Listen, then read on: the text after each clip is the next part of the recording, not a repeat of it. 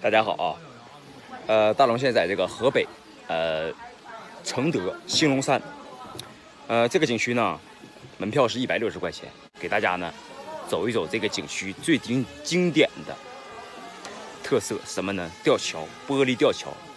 走吊桥一定要记住两个点，大龙以前讲过，戴一顶帽子，留一撮胡须，真气元气都有了啊，花裤子也是必不能可少的啊。呃，这个玻璃大桥啊，全程是二百多米啊。呃，那个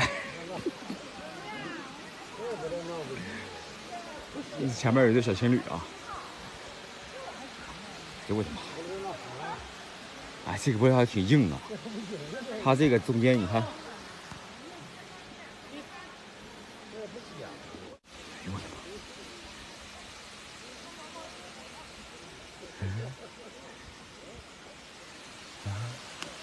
这多高啊！哎呦我的妈！啊！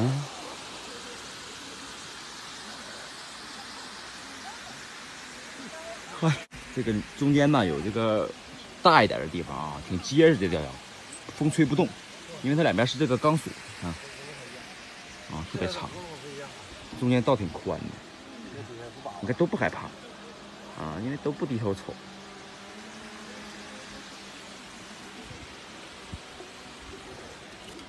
哎呦，挺高啊！我这抬到一个多，我，是，这抬到一个多。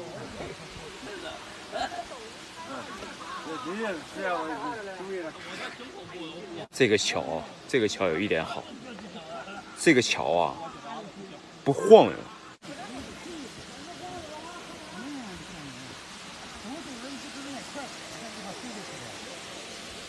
咱们那年还到处那边还有个瀑布哈，那绳子扔当中了，没多少。妈那它这就非常结实了啊。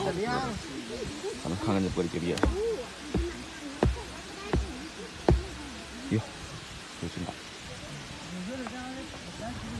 哎呀，大龙现在走的多了，也不害怕了，多好啊！这离地面多少米？二三百米高吧。这是我第一次啊，走这个玻璃吊桥，呃，感觉不是那么的害怕。哎呀，可能也是帽子和胡子起了作用。那个位置啊，看没看到那个位置？这个电梯就是一百多米啊，这是兴隆山一个大电梯，悬崖电梯。这个位置就是龙虾节吃饭的位置，在这个位置就是电梯旁边就是，剩下全部是悬崖绝壁的栈道，啊，全部在悬崖绝壁上走。承德兴隆山，自驾的来的小伙伴啊，会非常非常的方便。